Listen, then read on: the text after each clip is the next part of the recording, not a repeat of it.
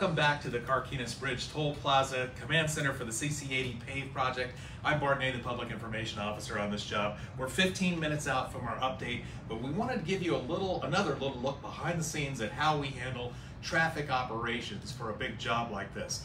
And I'm here with Amjad, who's going to tell us a little bit about what we do prior to a project like this and how we monitor it through construction. Thank you, Bart.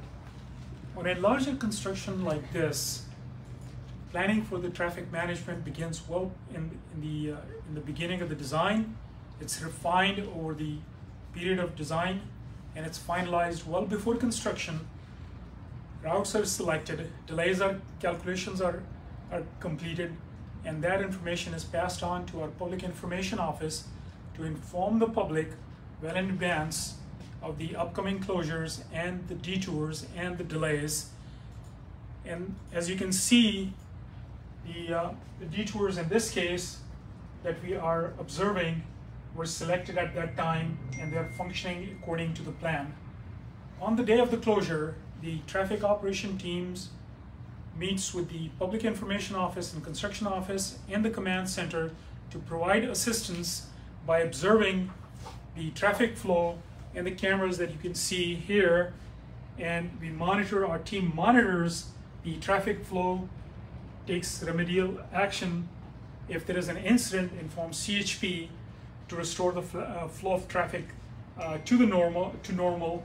And at the same time, in the field, the um, traffic operations staff runs those detours and determines the actual delays and passes back on to the command center where they are communicated with the public information office to uh, pass it on to the to the public uh, the expected delays that are taking place at this um, uh, during the construction.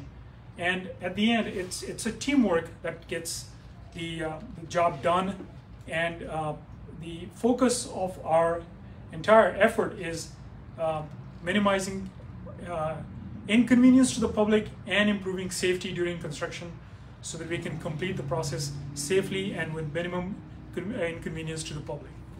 Thank you again. All right. Hey, thanks, Amjad, for taking a minute and, and talking with our audience.